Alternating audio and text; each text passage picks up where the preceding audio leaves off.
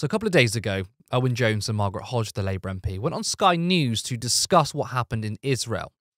I thought what Margaret Hodge did and said was pretty deplorable. Take a look. Yes, of course, and obviously, firstly, it's so important to share the disgust and horror um, at what happened. I was at a rave on Saturday with my friend who's an Israeli citizen, and I was with him as he took a call from his family. His niece escaped that rave. Uh, two of her friends um, were kidnapped and are now being held hostage uh, by, by Hamas. There's no cause on earth which justifies the slaughter of innocent civilians, and you know the horror and disgust, uh, you know, is raw with so many people, and the anguish of what those left behind are going for is is is indescribable. Um, obviously, my concern about what happens next is partly informed by what's happened before.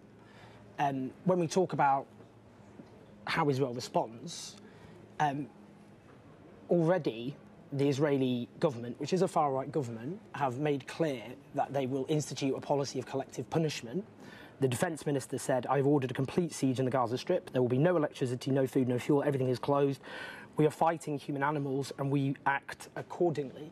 That, that is the language of war crimes. I think even there, you can see Margaret Hodge's body language, her face.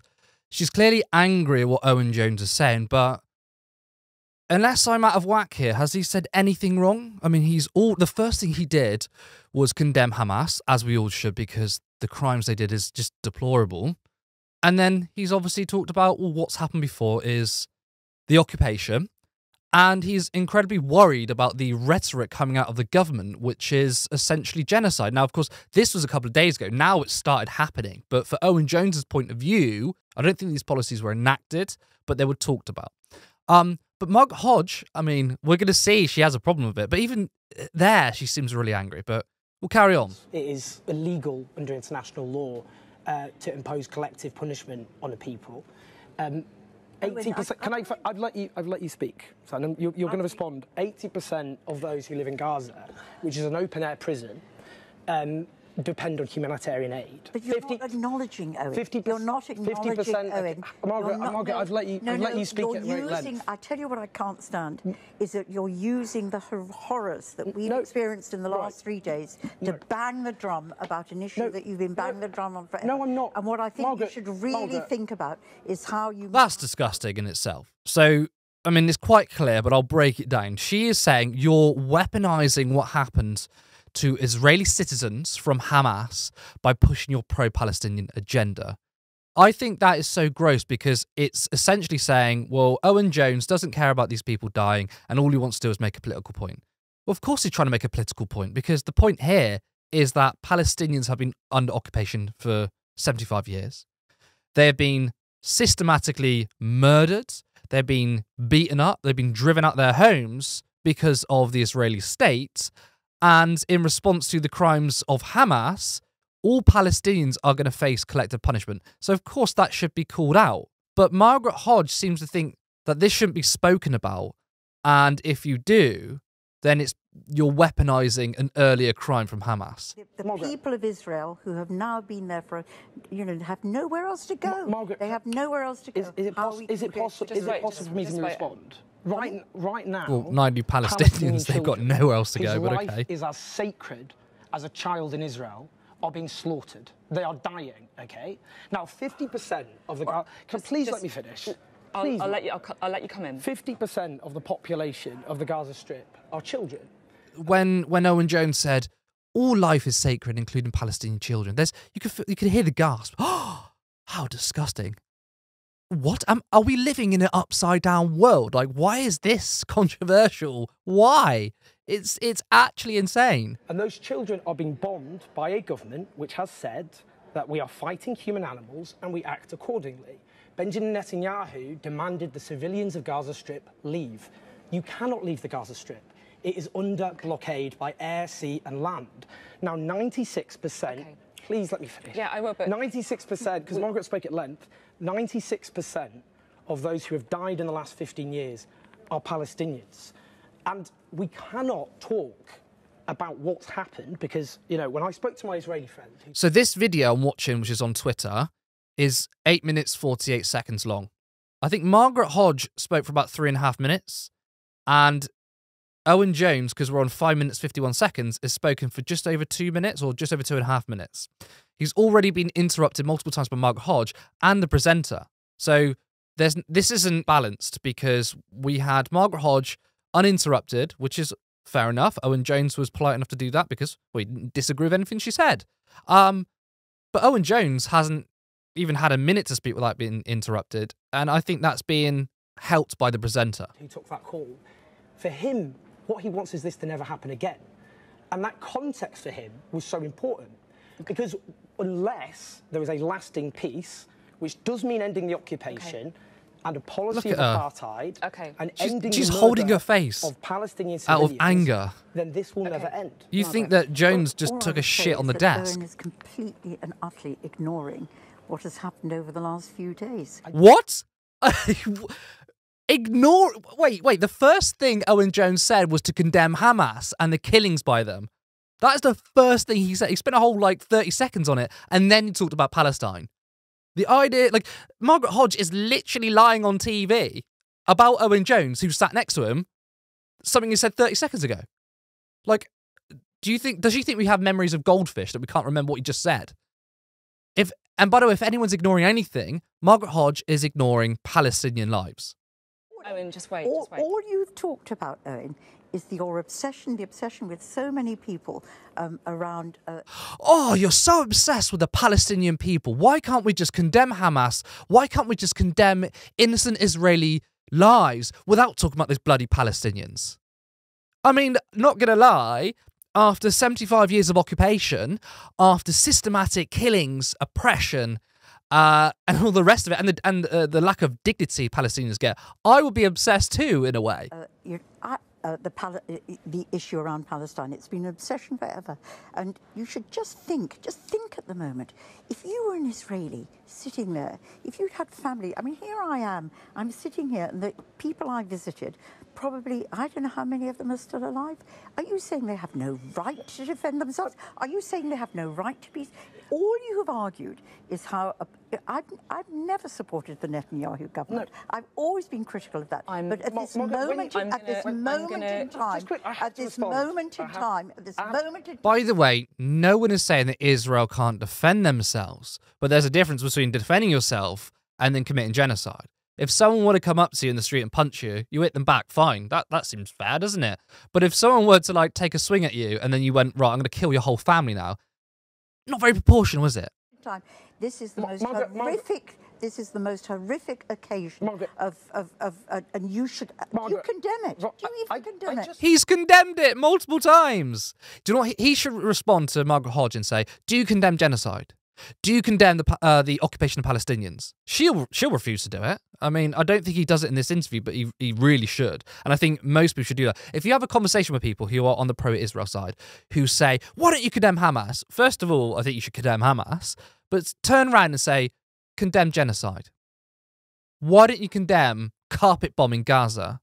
Why don't you condemn shutting off electricity and water to hospitals where babies oh. are on incubators. Why don't you condemn that? Flip the script. Just opened in the strongest possible terms condemning the atrocity. But you don't think they have the Hamas. right I don't believe a military solution. Which you don't think they have a right to defend their uh, state uh, of the Israel? Military solution, the military solutions that have been pursued against the Gaza Strip have led to huge you bloodshed. You don't think they have the right to defend themselves? I think a military attack on Gaza will lead to countless dead Israeli soldiers and huge numbers so of they civilians. They should allow the hostages what is to die. And they I have to allow say, the hostages I have to say, to Mar- die. Margaret, when I you mean, said, you know, when you said, what, what? Was, when you said, please, it's very difficult to have a conversation if you just speak over each other. I don't think it's that really, Because you make me Look, really when, angry because you're using this I'm horror. Not, no, Margaret, Margaret, I am, Margaret, I am, when we're talking, I am, I'm going to come in. I have to talk. I am actually going to come in. Okay, right. I'm going to come in. Sorry.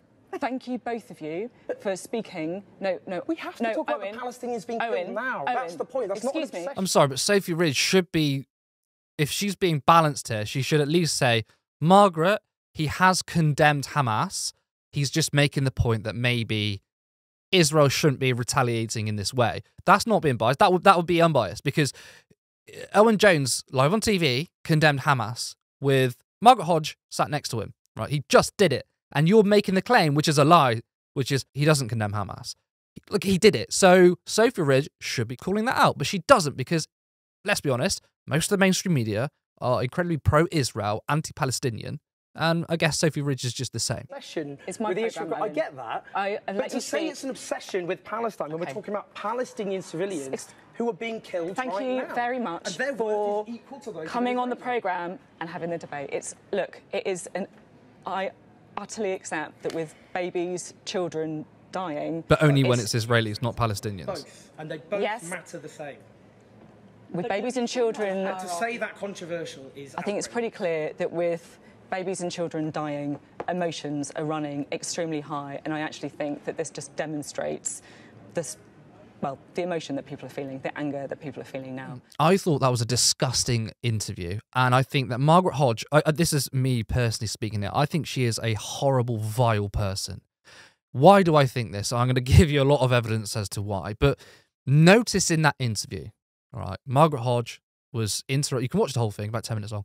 Margaret Hodge was uninterrupted. Owen Jones listened to her. And then Owen Jones uh, spoke. For the first 30 seconds, he, he condemned the violence of Hamas against Israeli citizens.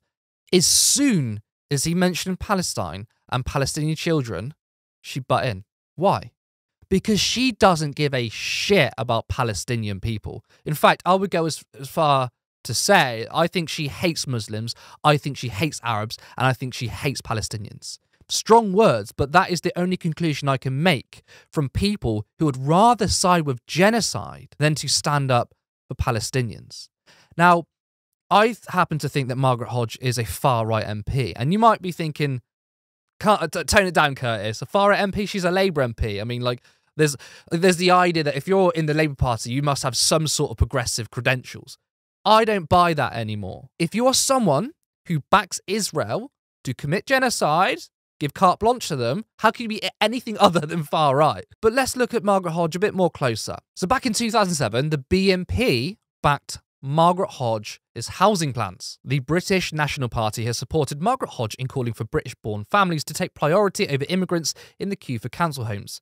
They've seized on the Labour MP's comments as a vindication of its extremist policies. Labour MP Margaret Hodge deserves a word of compliment from the BNP for her efforts to raise the thorny issue of social housing for native Britons, an issue that has been in our manifesto for years, the far right party said on its website. Britain is full, and there's no more room for any economic migrants, whatever language they speak, whatever religion they practice, and whatever they look like. Endorsement from the far right BNP party, I don't think has a leg to stand on when talking about racism. This is the same Margaret Hodge who called Jeremy Corbyn an effing anti Semite, despite being no evidence that he is.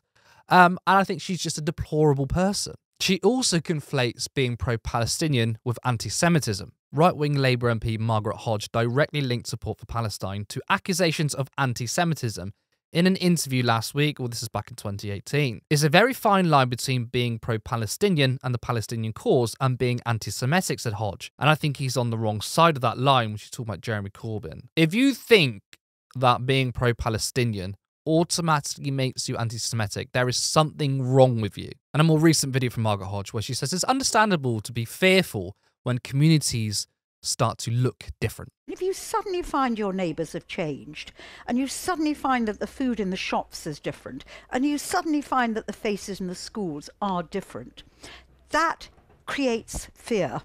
It does create, we all have a fear of change.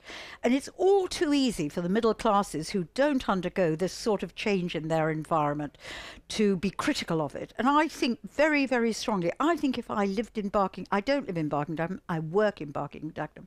If I'd lived there, I'd have felt that same fear of change. I think we need to be more aggressive at calling these sorts of people out. I think if you find it controversial that you want to talk about innocent lives on both sides, I think you have a problem.